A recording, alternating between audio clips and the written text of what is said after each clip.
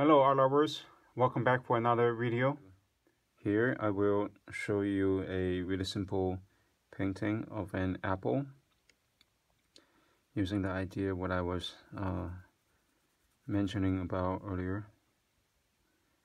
So in the beginning I use really thin paint, really thin. An apple just like that.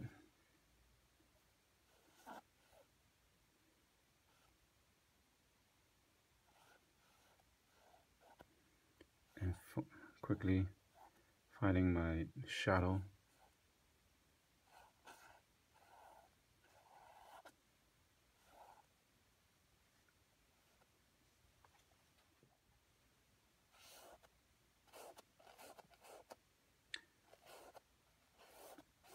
just put in some thinner paint as you can see there are there's more medium on the canvas right now. And quickly I'm going to add a little bit more tone into it add a little more paint on the dark side. Give it a little more color. And as you can see my movement which is not repeating repeatedly painting at the same areas for too many times. So that is one of the key that my color will remain fresher. Okay so after that I will just go I will just go ahead and paint on the light side. As I said, this is, is going to be a really quick and simple demo.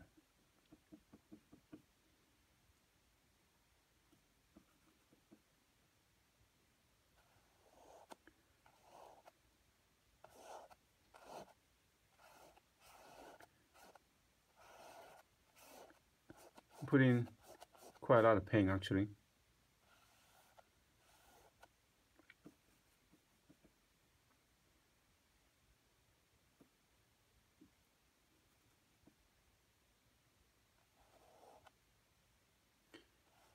Some people not uh, willing to put in this much paint at the beginning. But uh, the paint itself if you have enough it allows you to maneuver around. If you don't have enough paint it will not become smooth on the surface to have better transitions of the color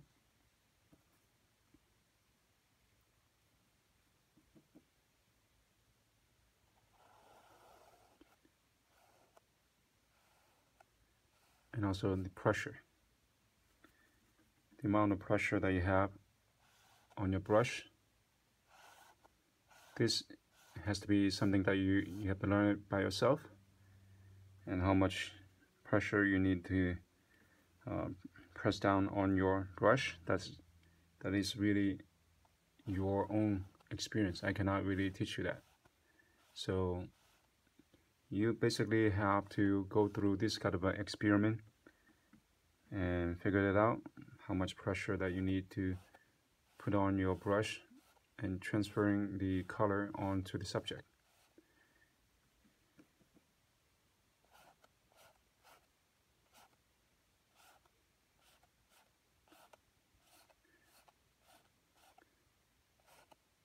So pretty much like I can talk all day saying that uh, what you should do, what you shouldn't do, but overall, you are the one who needs to experience it. So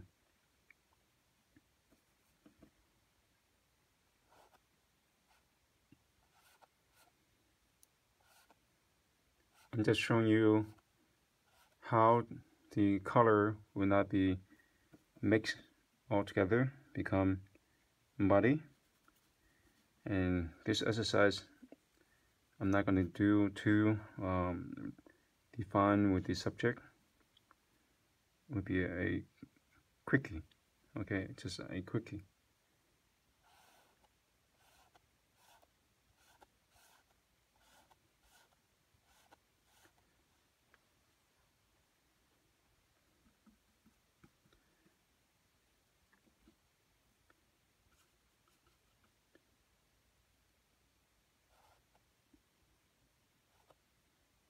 also I don't mind paint outside the area too. A lot of times people just paint within the area, carefully map things in, carefully paint around the, the subject. To me, I don't mind paint outside and I can always come back and retouch the area. So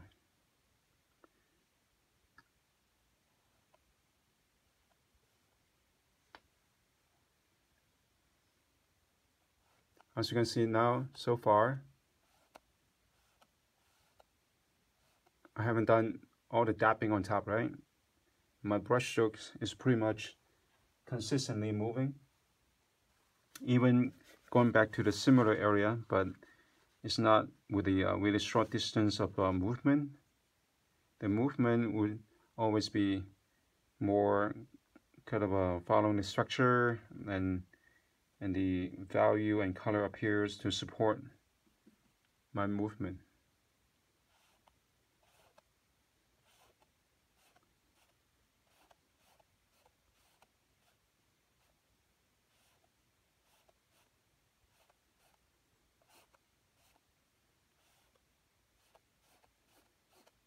So as you can see now, my color is start is starting to mix a little what can I do at this moment?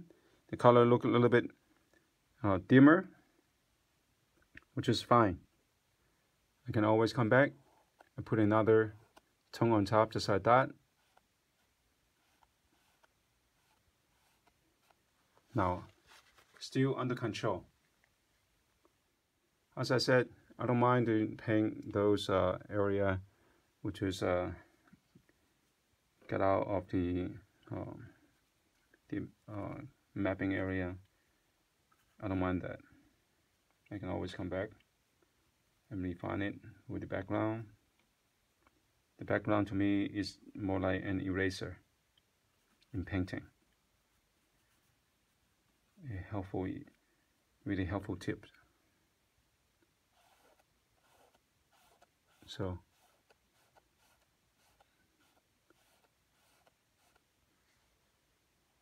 As I said, this demo is mainly to show you the color, how the color actually can appear without being being muddy.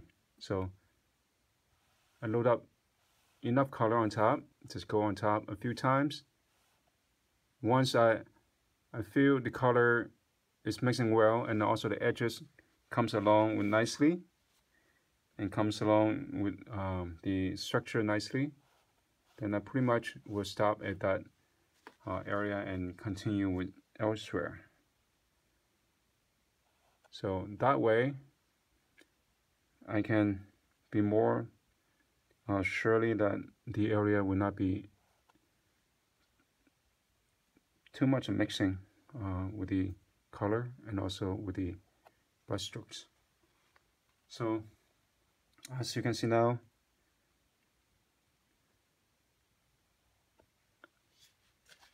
Apple is coming. It's coming along. The more paint you put on top the easier for the color to mix.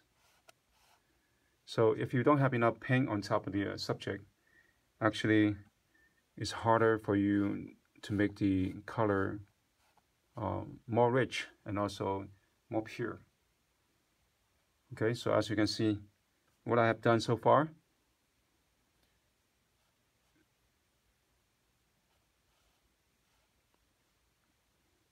and next thing I need to do, which is I'm going to paint the background, give it a little more neutral color, since the, the foreground element is quite red. I'm just going to neutralize it. And of course by doing that I need to add certain amount of um, the medium such as the linseed oil I'm using. Okay refined linseed oil that's what it is. Now I'm gonna go ahead paint around that area. And along with the brush control what I mentioned last time and the way that how the brush can work.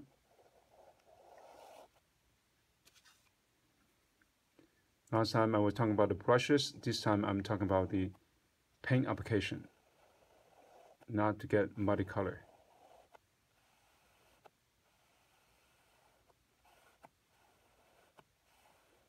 See, even I paint the same area, but I'm not dabbing like this. Do you see that? I'm not dapping like that. Push in, I push my paint in actually.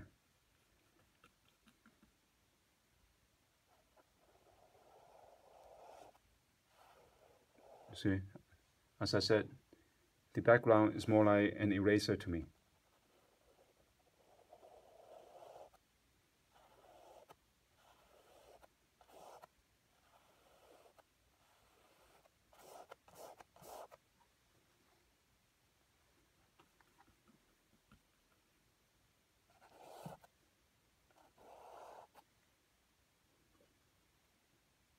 Almost there.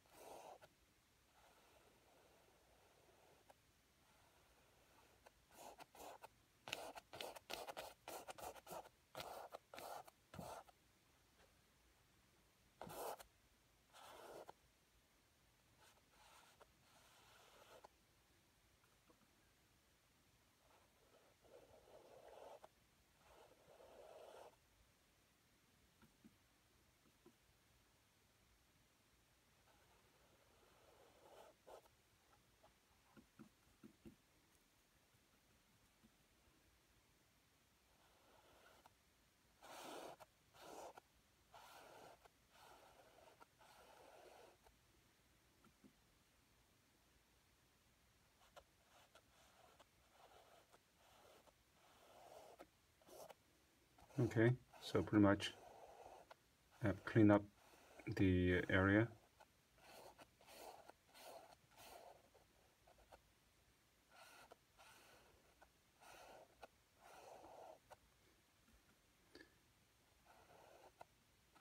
as I said, even I go through the same area, my stroke is long. Much longer than some of the people doing this. This will make your uh, paint go thinner, less fat on top. That means it will be easier for your color to get to get uh, muddy. So um, not just adding more linseed oil oil will make your painting go better, but I'm talking about the pigment itself. Okay, not just adding oil, uh, linseed oil, and then hopefully that the color will not become muddy. It will also become muddy if you don't have enough pigments, okay, enough colors.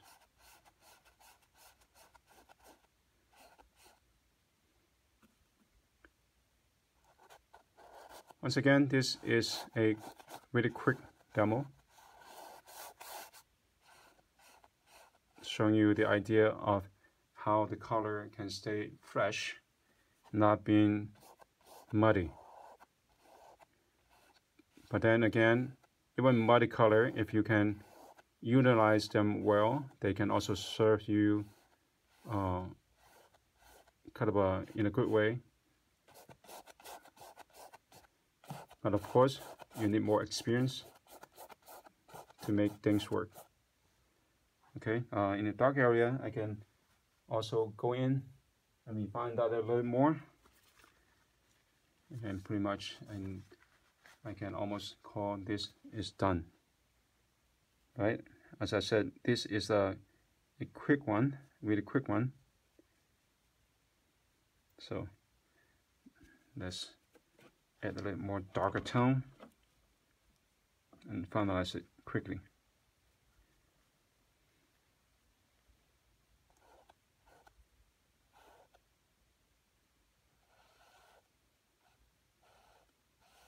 More fat is adding into the subject. As I said, more fat, easier to render. So some people, they are afraid to put paints on top of the canvas. And also sometimes some people think the, uh, the paints are expensive. Uh, they don't want to use too much. But in this case, your painting is going to suffer, right? If you don't have the uh, have the confidence, have the guts to use a paint, how can your paint serve you? Just like a chef worry about using a, their knife and using the, the knife to cut their their um, the food then the result will be different, right? So the same. The same as painting. So pretty much this is done. Let me soften up the edge a little. A really quick one, as I said. And the Stop.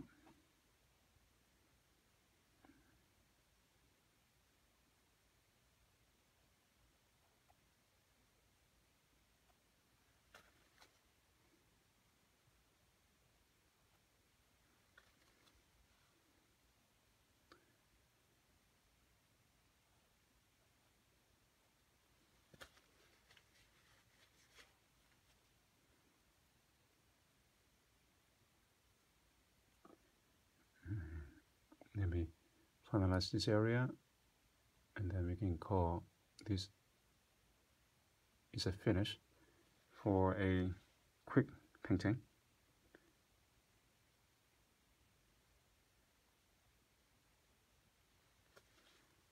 This is a shadow and now I'm painting the stamp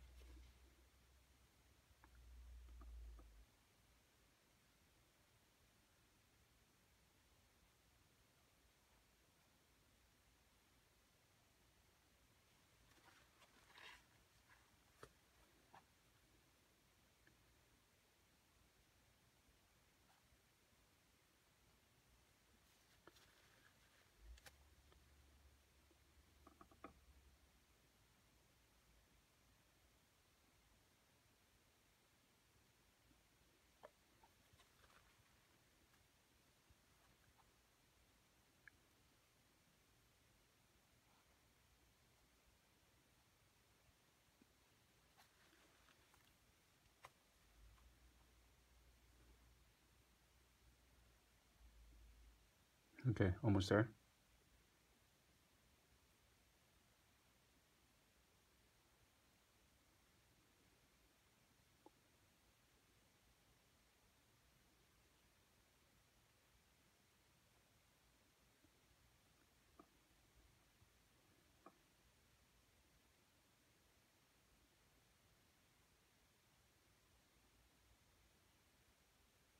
See, by adding more paint on top, the color can stay and also by not moving around that many times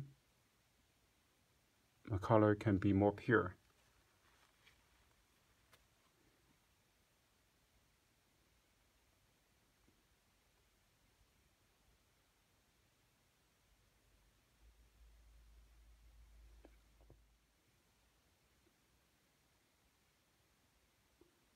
And on the other side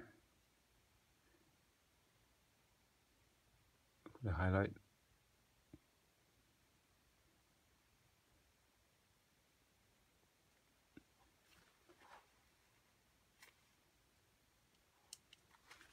And what, one last thing to do is define this, this brush mark a little.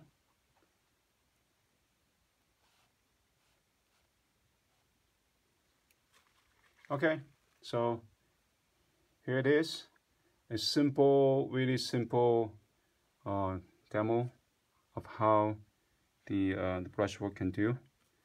Um, or maybe I can add a little more for the reflected light. Show you that actually I can change color just like that. See? By adding color one time,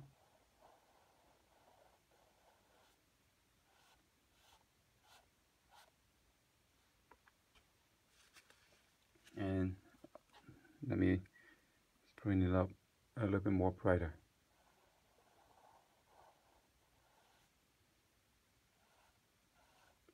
If I'm do one or more time, as you can see, the value changed.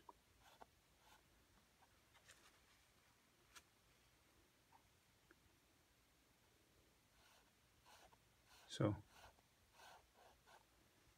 okay, uh, I'm going to do more, a little bit more.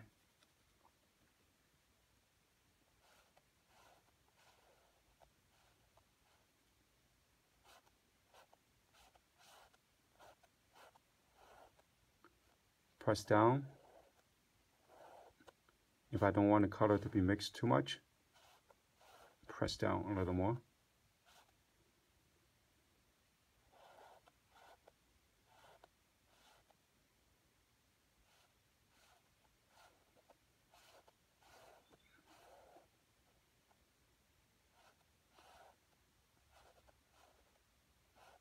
I'm trying to find a mutual ground for these two planes.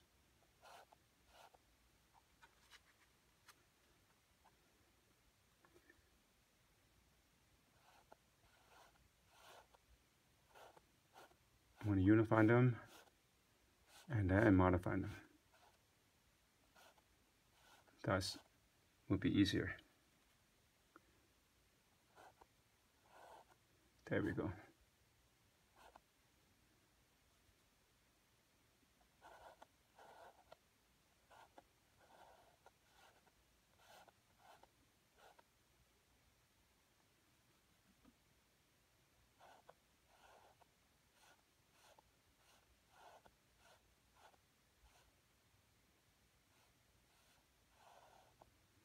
Right? As I said when I'm doing this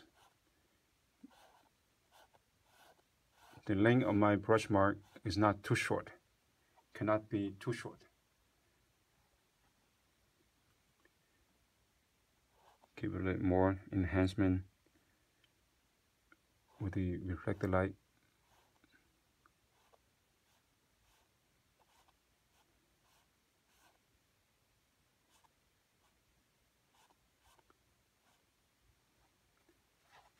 Okay, so this is it. A quick demo how the color not be become muddy. Hopefully it helps you. If you like the video, please click like, subscribe, and share with your friends. See you next time. Bye.